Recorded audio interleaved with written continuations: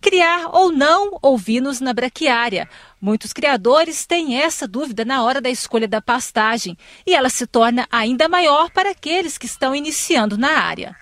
O plantio dessa gramínea pode não ser o mais recomendado em termos de produtividade, porém existem formas de se aproveitá-la.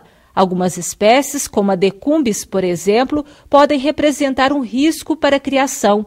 Para afastar este perigo, o criador precisa estar atento ao manejo do capim. Bom, o problema da barqueária é a, infestação que pode ocorrer nela de fungos, que pode vir a intoxicar o animal.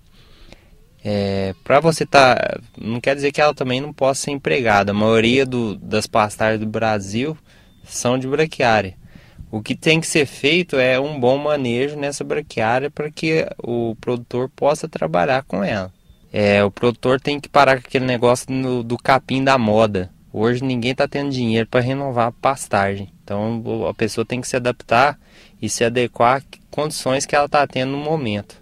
Se ela tem condição de colocar uma pastagem melhor, bem, mas se ela não tem condições, se ela precisa usar a braquiária no momento, ou a região dela não permite outra espécie, ela pode sim e, e deve trabalhar com, com a braquiária, manejando nas alturas corretas, é, tá sempre observando os animais, se está havendo ou não intoxicação, porque pode ser um outro problema semelhante que pode estar tá, é, dando a falsa impressão de intoxicação, mas às vezes pode não ser. O mais conhecido é, essa, é, é, é esse sintoma da fotossensibilização, né?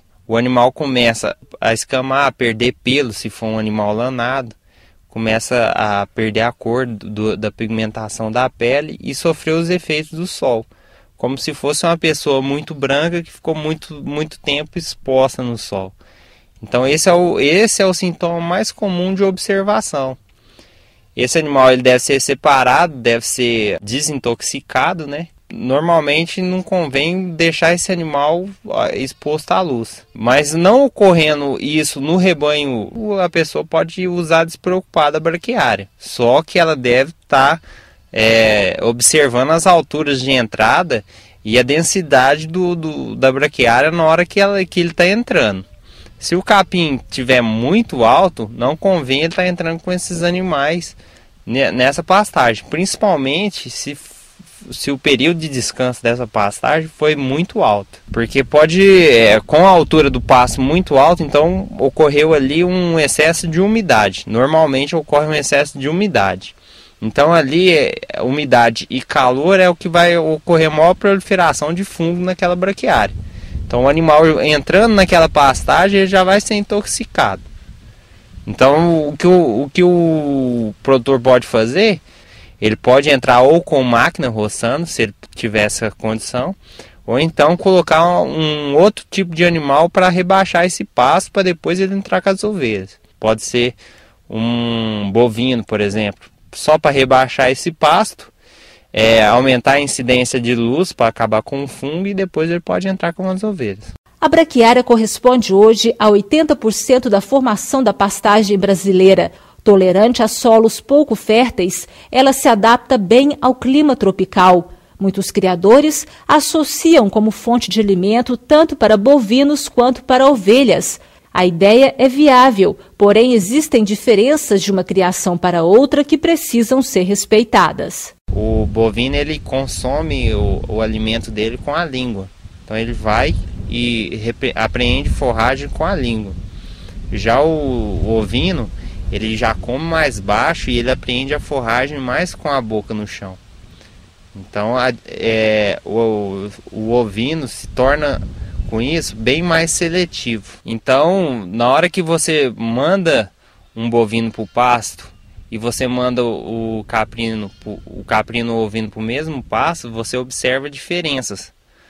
Só que o manejo em relação à pastagem é a mesma. Não muda nada. A entrada é a mesma, a saída é a mesma. Só que a rebrota, por ele ser, ter a seletividade diferente, a rebrota é diferente. A grande diferença do que eu acho em relação ao animal, né, bovino e ovino, é esse detalhe, que o ovino qualquer machucado que ele tiver, ele pode vir a estar tá tendo bicheira. E o bovino ele é mais resistente a, a, a, machucado, ele se machuca menos, é um animal de maior porte. É, então o cuidado com o bovino é bem maior. O segredo de uma pastagem de sucesso, primeiro tem que ter pessoas para trabalhar.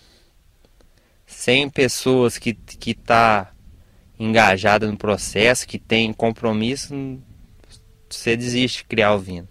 Primeiramente é isso. E outra é você tá com gostar do que você faz.